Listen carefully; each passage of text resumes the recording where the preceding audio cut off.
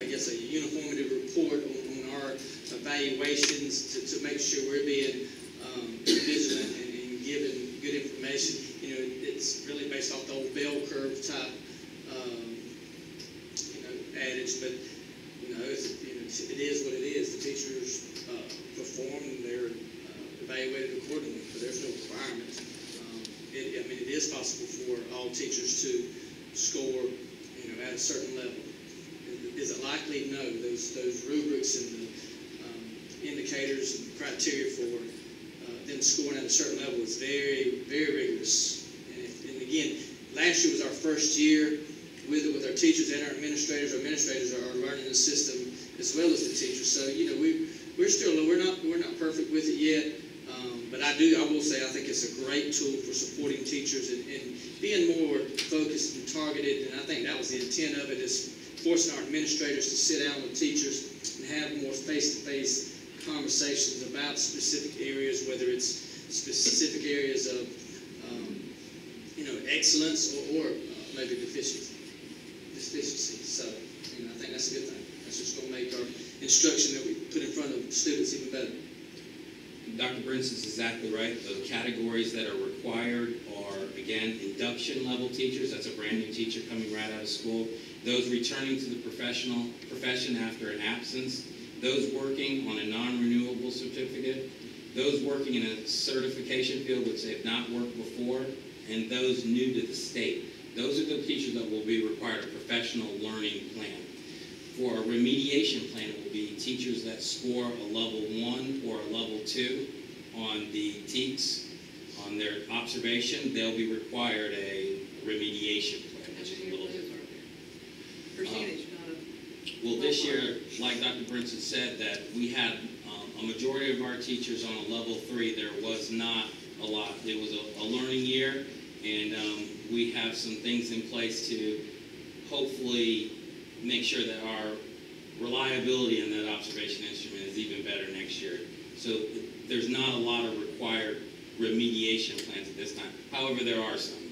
Mr. Rowe, I'll give you a percentage. I'm very comfortable saying that was less than ten percent, probably closer to five percent of our teachers. I mean, so it was a very low It's number. very threatening. It seems from the, what I've heard, what I've been told, it seems very threatening to teachers.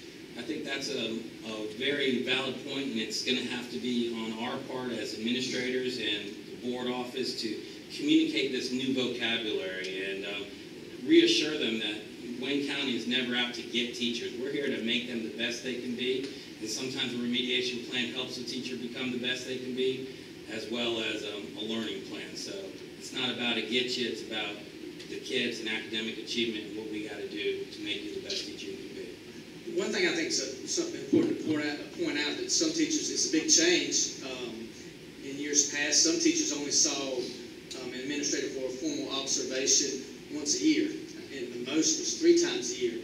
Now, we're forced to go through um, two cycles, and help me out, principals, how many visits is that per teacher? Is it six?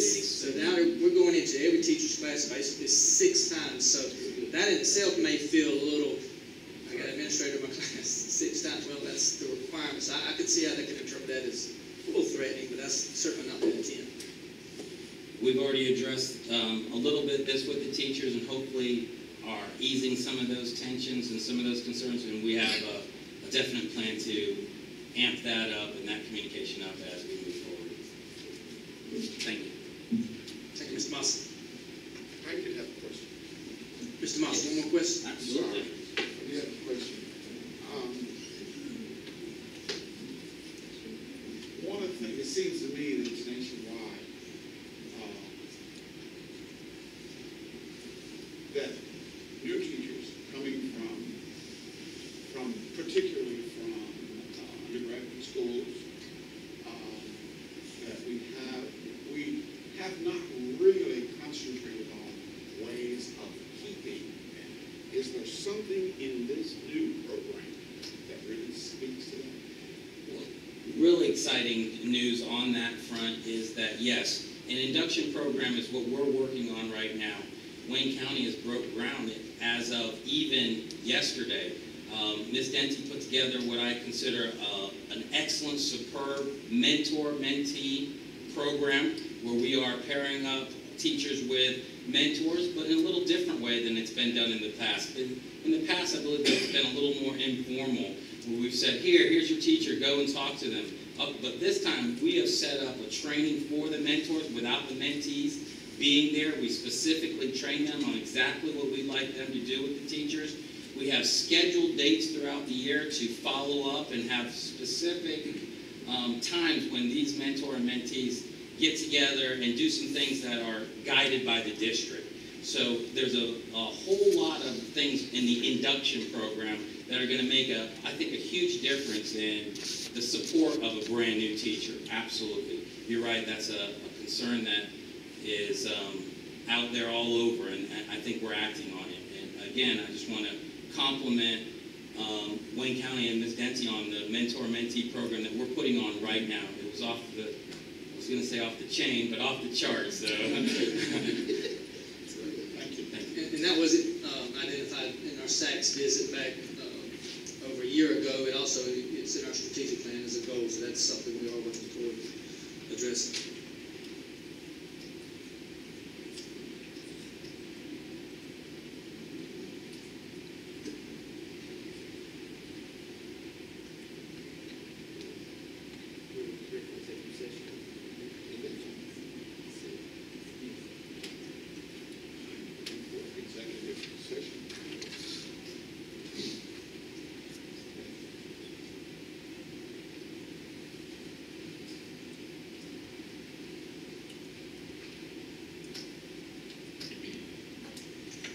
Session to discuss or deliberate upon appointment, employment, compensation, hiring, disciplinary, disciplinary action or dismissal, or periodic evaluation or rating of a public officer or employee, or to interview applicants for the position of superintendent.